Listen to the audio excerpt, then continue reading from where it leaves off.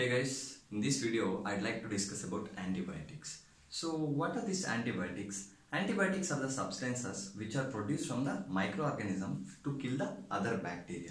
Right? So we know what are these antibiotics. We have various ways to classify the antibiotics. So that one way to classify the antibiotics is bacteriostatic, bacteriostatic and bactericidal right? So what are these bacteriostatic antibiotics? So bacteriostatic antibiotics are the group of antibiotics which stop the growth of the bacteria. So they will stop the growth.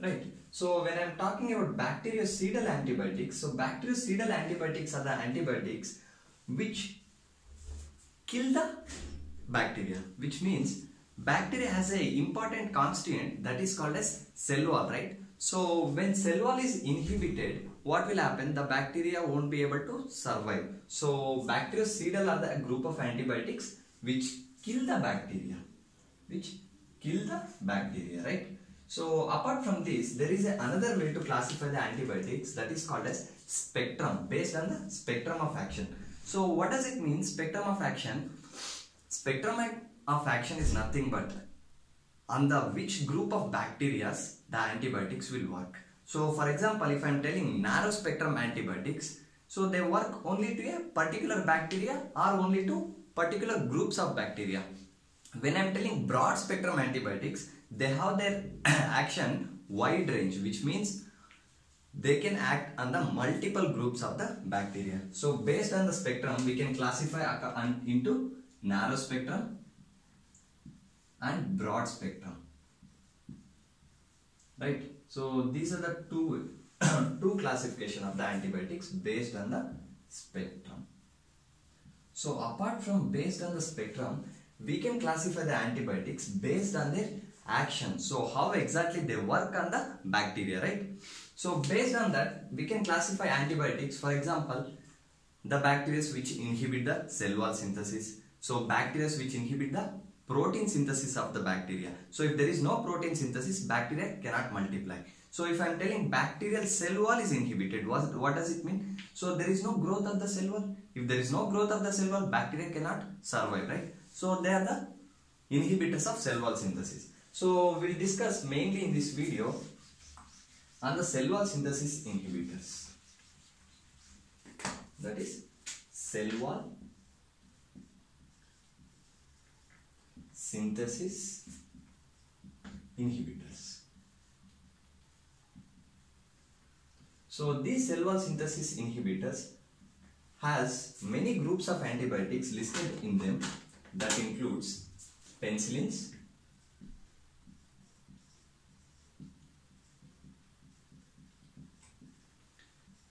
we have cephalosporins, cephalosporins, we have monobactams.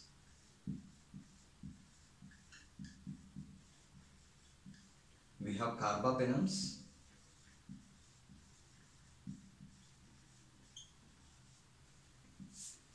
We have one more drug called as vancomycin so vancomycin belongs further into a group of antibiotics. They are called as glycopeptides. They are called as glycopeptides. Right? So these are the list of antibiotics which come under the category of cell wall synthesis inhibitors. So one thing common about penicillin cephalosporins monobactams and carbapenems is they have beta lactam ring. What is it? Beta lactam ring so what is the use of this beta lactam ring? Beta lactam ring is the one which majorly inhibit the cell wall synthesis. So by now we have a idea how exactly they will work. They have beta lactam ring. Their beta lactam ring will inhibit the cell wall synthesis. Right? So we will start discussing about the penicillins. Right? So if i mention anyway spectrum of action what does it mean? Spectrum of action means on which group of bacteria they work. So penicillins have the spectrum of action gram positive and cocci. Right. So gram positive infections we have many. For example, listeria we have, we have gonorrhea, neisseria. right. Cocci, cocci we have staphylococci, streptococci. Right. So these are the spectrum of action. So if I'm telling gram positive positive and cocci is the spectrum of action of penicillins, which means I can use it in the infections with the gram positive and cocci infection, right? So these penicillins are further divided and they have something called natural penicillins. They have something called natural penicillins.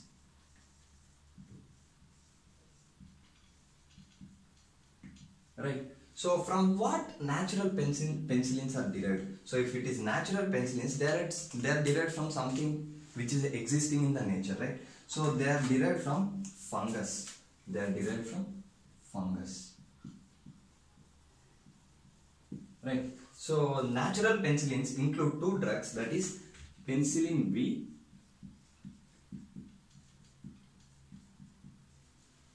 penicillin V and penicillin G. Right. So these are the two antibiotics which belong to natural penicillins. So obviously natural pen penicillins have the spectrum of action that is gram positive and cocci. Right. So I discussed, I told the story of natural penicillins, but how exactly, how exactly these all penicillins work on the bacteria, right? So we'll discuss that they have three factors for the mechanism of action. That is one is penicillin binding proteins. I'll explain what it is. Penicillin binding proteins. So these penicillin binding proteins are the substances which are the enzymes of the bacterial cell wall synthesis. What does it mean? So bacteria has some enzymes which involve in the cell wall synthesis of the bacteria and these penicillin can go and bind with them. So if they it can bind with them which means it doesn't allow the proteins to work and there is no cell wall synthesis of the bacteria. Apart from that they have one more factor that is inhibition of transpeptidase. Inhibition of transpeptidase.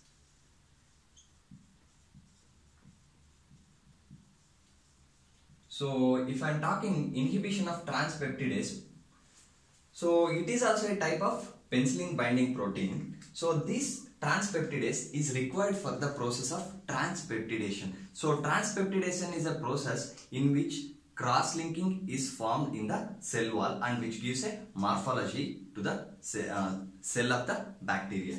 So if I am inhibiting the transpeptidase, there is no transpeptidation and there is no bacterial cell wall synthesis right? So we have one more factor that is autolysin. They work with the autolysin.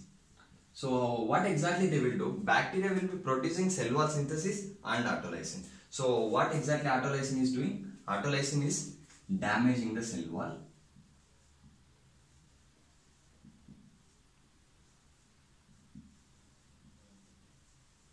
Right? Apart and bacteria on the other direction it will be producing the new cell wall.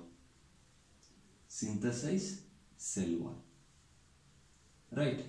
So now autolysin is removing the cell wall and cell wall synthesis is happening. What we will do, we will just inhibit this cell wall synthesis. Right. So I already told you cell wall synthesis is inhibited by the penicillins. So if there is no cell wall synthesis and these autolysins keep damaging the cell wall and the bacteria will be killed. So if I am telling bacteria is being killed, killed, killed, what does it mean? They belong to a group of bactericidal antibiotics, right? So now we know the natural penicillins and generalized mechanism of action of the penicillins, right?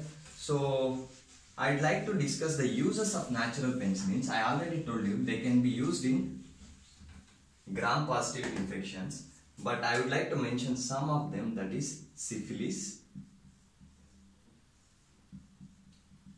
right we have some more infections such as listeria right So apart from this, there are many other streptococcus is there, staphylococcus is there. They are also belongs to gram positive, right? So now we know the natural penicillins. Now we will discuss about another group of penicillins that is anti-staphylococcal penicillins. What are they called? Anti-staphylococcal penicillins. So what does it mean? Anti-staphylococcal penicillins. The word itself clearly tells us that they work against the staphylococcus bacteria. So if they are working against the staphylococcus bacteria, staphylococcus aureus causes some infections. So to prevent that or to treat that, we can use this anti-staphylococcal penicillins, right? So we have two drugs that is methicillin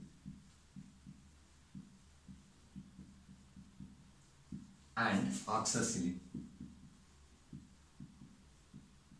Right. So these two drugs belong to anti-staphylococcal penicillins, right? So all of us heard about infection called MRSA, that is methicillin resistant staphylococcus aureus. Right. So this MRSA, how exactly we find whether the bacteria is resistant to methicillin or not? We uh, take the methicillin and we take the samples of the bacteria and we check the sensitivity of the bacteria to the methicillin. So these methicillin and oxacillin they have high nephrotoxic effect, high nephrotoxic effect. So as a result of high nephrotoxic property they are not used in a clinical practice. So only the use of methicillin and oxacillin mainly to find the sensitivity to the Staphylococcus aureus. So based on that we can decide whether it is methicillin resistant or methicillin sensitive. So if it is sensitive then we can use the other groups of penicillins and treat that. Right. So this is the story of our anti-staphylococcal penicillins. So after anti-staphylococcal penicillins we have one more group of penicillin that is anti-staphylococcal penicillins we have. So we have one more group of penicillin that is extended spectrum penicillins. Extended spectrum penicillins. So these extended spectrum penicillin, the sentence clearly says us that what exactly is happening? Their spectrum is extended. Means earlier the penicillins were working against gram positive and right?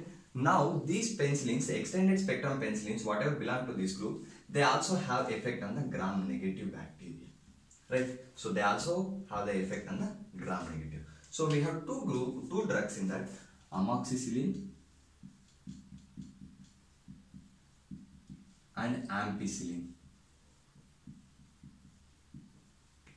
So now one advantage we can use them in the gram positive, gram negative and cocci but we cannot surely say that they work against the all groups of gram negative but they have a little action towards the gram negative bacteria. So here I wrote ampicillin. So this ampicillin is a drug of choice is a drug of choice for Listeria infection. This is a drug of choice for the Listeria infection.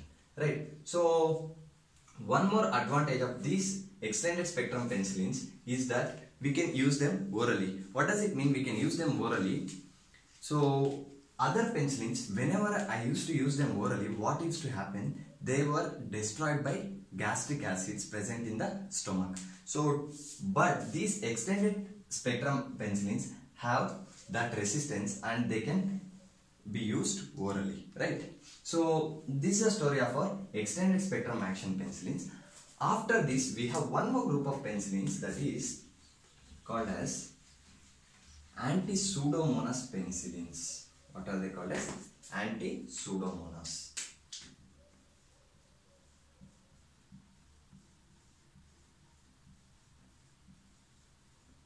So these anti-pseudomonas penicillin include two drugs that is carbenicillin and one more drug that is called as piperacillin. Right. So these are the drugs which belong to the anti-pseudomonas penicillins, which means they are used in the treatment of the pseudomonas aeruginosa infection. So pseudomonas aeruginosa produces a blue colored pus. So some places they also refer it as blue pus bacillus, right? So we discussed the some of the uses of the penicillins and classification of the penicillin, mechanism of the penicillins, right? Now, few important points we need to know about the side effects and how these penicillins are administered. So, we need to know mode of administration, mode of administration, right? So mode of administration, I earlier told if they were used what was orally what was happening, they were destroyed by the gastric juices. So we can use them intravenously, right? We can use them intramuscular and we can use them orally only few penicillins that is the ones which had some effect that is extended spectrum of action penicillin they might be used orally right. So i want to tell one peculiar property of the intramuscular that is intramuscular penicillins are used in the form of depot used in the form of depot. So what we will do we will inject the penicillin intramuscularly and these penicillins are absorbed very slowly and they have a long duration of the action. Right. So in depot form we can use benzathine penicillin benzathine penicillin. So where we use this benzathine penicillin, benzathine penicillin it is a type of penicillin G. We can use them in the prophylaxis of rheumatic disease. Prophylaxis of the rheumatic disease. Right. So we have one more penicillin that is called as benzyl penicillin.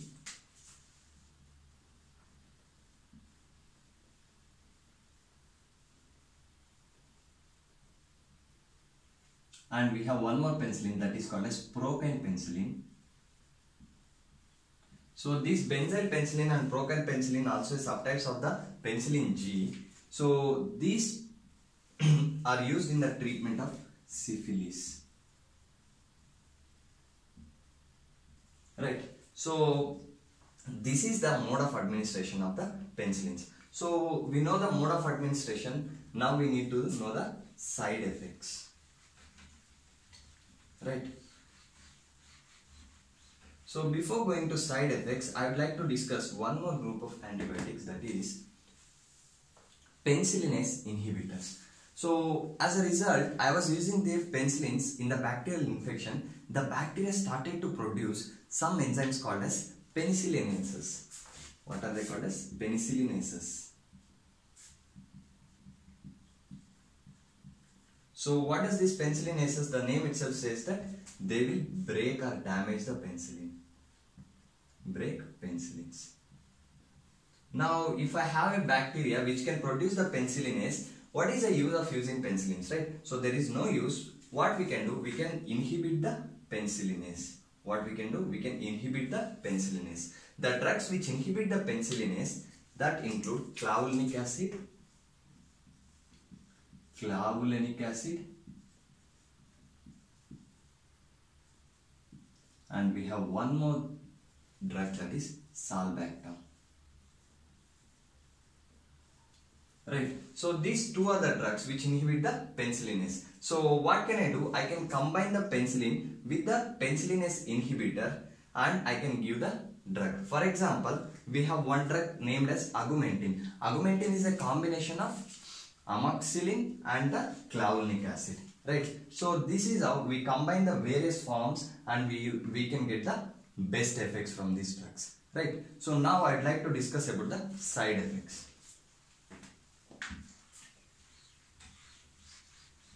So side effects of penicillins. Side effects of penicillin include hypersensitive reaction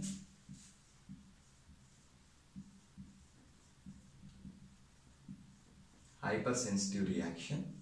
They can cause diarrhea. Apart from that, so I earlier told methicillin was nephrotoxic. So that is also one of the side effect that is nephrotoxicity. But this nephrotoxicity is not exerted by all the penicillins, but mainly the methicillin, the, the group of penicillins which were anti-staphylococcal has a nephrotoxic property. Right. Apart from that, we have one more specific property during the treatment of syphilis, they can cause Jarisch-Herxheimer phenomenon. That is Jarisch-Herxheimer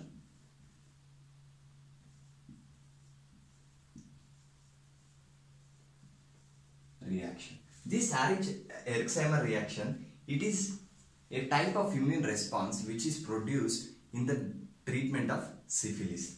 Right. So these are the side effects of the penicillins. Right. So we have discussed all types of penicillins, their mechanism of action, mode of administration, right, and side effects. So for the other groups of antibiotics, I'll make the further videos. Keep following guys. Thank you.